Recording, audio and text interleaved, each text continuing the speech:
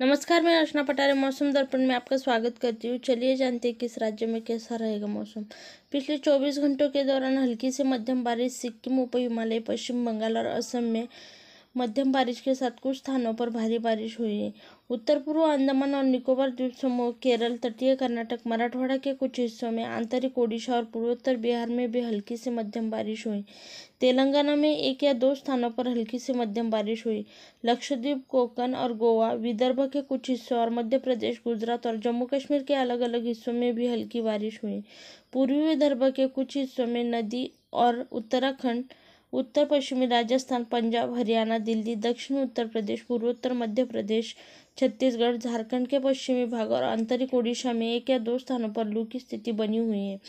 अगले 24 घंटों के दौरान देश के उत्तर पूर्वी हिस्से में उप हिमालयी, पश्चिम बंगाल, सिक्किम और अंडमान निकोबार, द्वीप समूह, तटीय कर्नाटक और तटीय आंध्र प्रदेश में हल्की से मध्यम बारिश के साथ कुछ स्थानों पर भारी बारिश संभव है।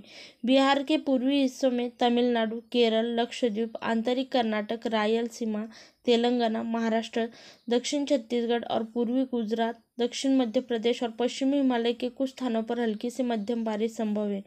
पूर्वी विदर्भ के कुछ हिस्सों में नदी और उत्तराखंड उत्तर पश्चिमी राजस्थान, पंजाब, हरियाणा, दिल्ली, दक्षिणी उत्तर प्रदेश, पूर्वोत्तर मध्य प्रदेश छत्तीसगढ़, झारखंड के पश्चिमी भाग और आंतरिक ओडिशा में भी एक या दो स्थानों पर लू की स्थिति बन सकती है।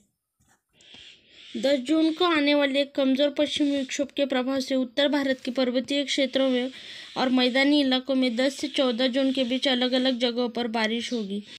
वर्तमान में हरियाणा और एनसीआर दिल्ली में भीषण गर्मी और लू का प्रकोप जारी और संपूर्ण इलाके में तापमान में उछल देखने को मिल रहा है। परंतु उत्तर भारत के मैदानी राज्यों में कई दिनों के बाद हल्की बारिश की गतिविधियाँ वापस लौटेंगी। दस जून को एक कमज़ोर पश्चिमी विक्षोभ उत्तरी पर्वतीय क्षेत्रों में प्रवेश करने वाला है, जिसकी वजह से एक प्रेरित चक्रवातीय सर्कुलेशन या हवा का क्षेत्र उत्तर पश्चिमी राजस्थान पर विकसित होने की संभावनाएँ बन रही और साथ ही दो विपरीत हवा के मिलन से इलाके में बादलवाही देखने को मिलेगी। और पछुआ दक्षिण पूर्वी हवा के टकराव से एक ट्रप उत्तर पंजाब से लेकर उत्तर हरियाणा, यूपी के तराई क्षेत्र, बिहार, पश्चिमी बंगाल तक बनेगी, जिस कारण हरियाणा के उत्तरी जिलों में पंचकुला, अंबाला यमुनानगर कुरुक्षेत्र, करनाल व पानीपत में प्री मानसून गतिविधियाँ, हल्की बूंदबांदी, बारिश और तेज अंधड़ चलने की संभावना है अगले 24 से 48 घंटों में मानसून के गोवा, उत्तरी कर्नाटक, दक्षिणी महाराष्ट्र, दक्षिणी आंध्र प्रदेश, पश्चिम बंगाल के अन्य इलाकों और बिहार के उत्तर पूर्वी इलाकों में दस्तक देने के लिए परिस्थितियाँ बिल्कुल अनुकूल बनी हुई हैं।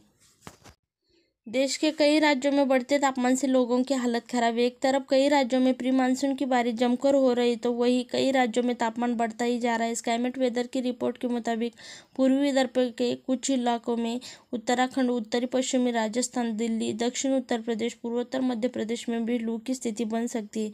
देश के कई राज्यों में बढ़ते तापमान से लोग परेशान हैं। स्काइमेट वेदर की रिपोर्ट के मुताबिक, पूर्वी विदर्भ के कुछ इलाकों में उत्तराखंड उत्तरी पश्चिमी राजस्थान, पंजाब, हरियाणा, दिल्ली दक्षिण उत्तर प्रदेश, पूर्वोत्तर मध्य प्रदेश में लू की स्थिति बन सकती है। स्काईमेट वेदर की रिपोर्ट के मुताबिक वर्तमान में विदर्भ के पूर्वी इलाकों में कम से कम अगले कुछ दिनों तक लू बनी रहेगी। इसके बाद 11 से 13 जून के आसपास बारिश होने की संभावना है, जिससे मौजूदा गर्मी से कुछ राहत मिल सकती है। हालाँकि ये बौछारें हल्की रहेंगी और कुछ खास होने की उम्मीद नहीं है।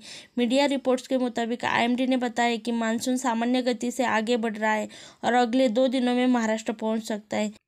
मौसम वैज्ञानिक ने बताया कि मानसून इकतीस मई से सात जून के बीच दक्षिण एवं मध्य अरब सागर, पूरा केरल, कर्नाटक और तमिलनाडु के कुछ हिस्सों में पहुँच गया था।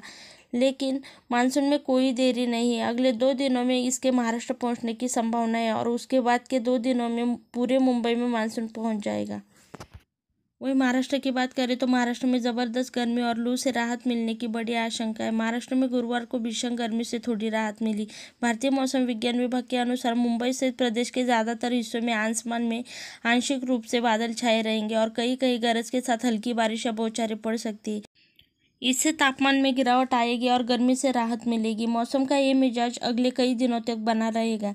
इससे पहले बुधवार को भी महाराष्ट्र के विदर्भ में जोरदार गर्मी और लू का प्रकोप जारी रहा। इस दौरान प्रदेश के साथ साथ देश में सबसे ज़्यादा अधिकतम तापमान राजस्थान के श्रीगंगानगर के साथ संयुक्त रूप से ब्रह्मपुरी में छियालीस दशमलव दो डिग्री सेल्सियस दर्ज किया गया है। दूसरी तरफ़ महाराष्ट्र में वायु गुणवत्ता सूचकांक अधिकतर शहरों में संतोषजनक श्रेणी में रिकॉर्ड हो रहा है।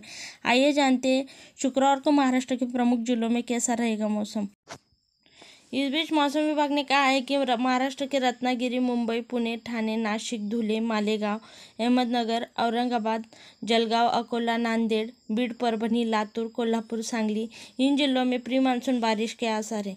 खबर में फ़िलहाल इतना ही। इसी के साथ देखते रहे मौसम दर्पण चैनल को सब्सक्राइब कीजिए, बेल आइकॉन दबाइए। वीडियो पसंद आया तो लाइक कीजिए और शेयर कीजिए।